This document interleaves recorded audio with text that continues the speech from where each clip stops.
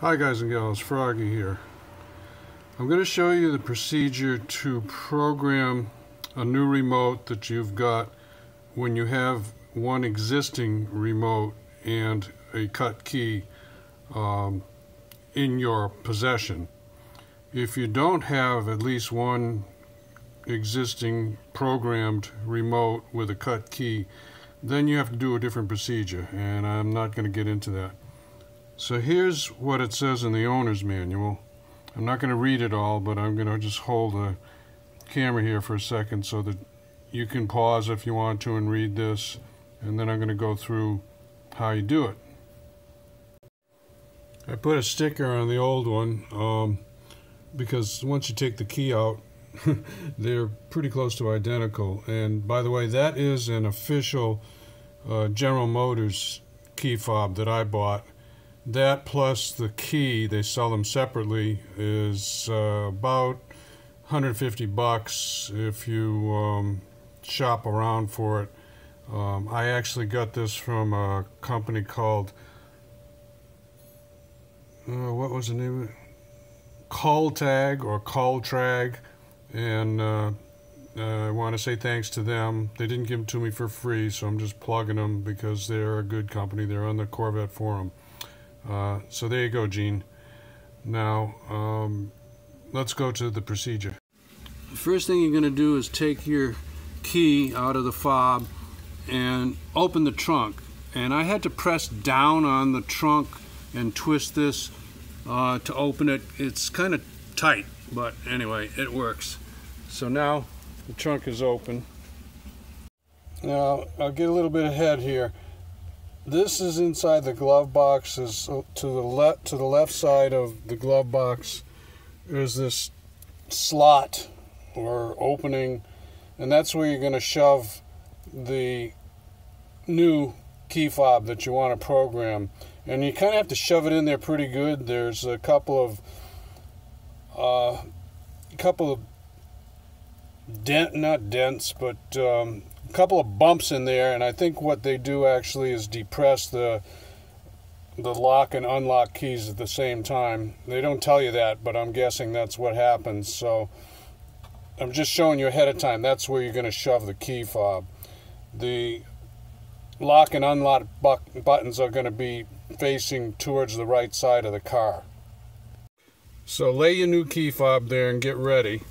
Then you're going to go back to the trunk and you're going to twist it five times.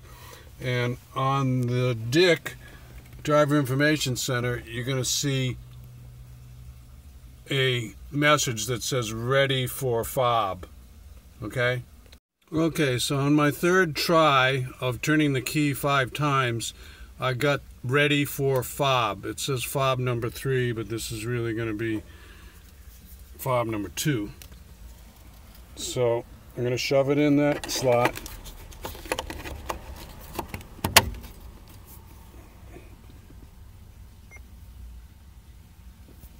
and you hear the little beep I think you heard it and it says ready for fob number four and we're not we're not going to do any more. so I'm going to take it out of the slot you really had to shove it in there pretty hard all right and the final step is to Sorry for this glare. Holy cow. There. The final step is to press the lock, uh, the unlock key, the unlock key on the one you just programmed.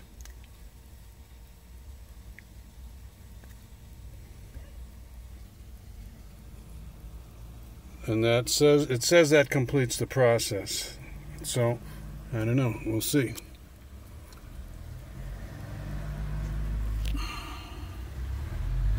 Let me read. Let me read a little bit more here, just to be sure. Uh, one last thing.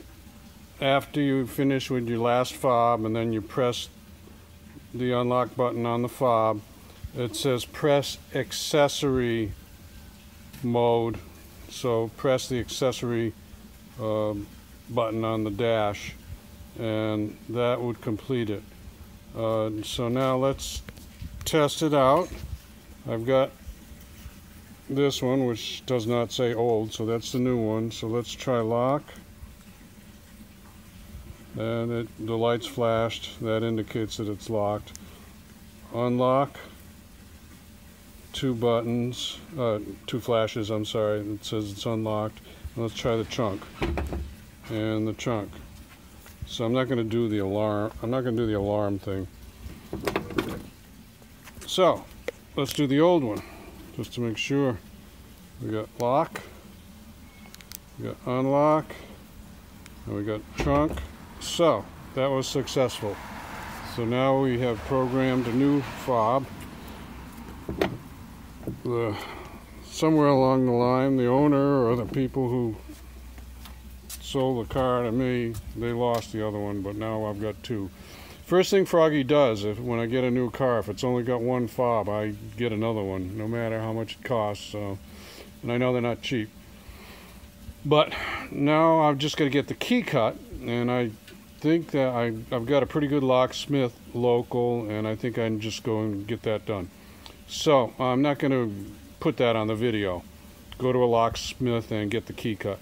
Anyway, give me a thumbs up or a like if this helps you out. Subscribe to my channel if you want more from Froggy. And you can put some comments down on my new C6Z06. I'm going to call it triple black.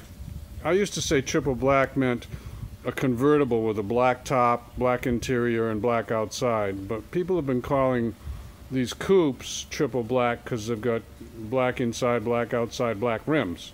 So, whatever. Anyway, see you later, you guys and gals. Have a great weekend. I hope this helps you out. Froggy out. Bye.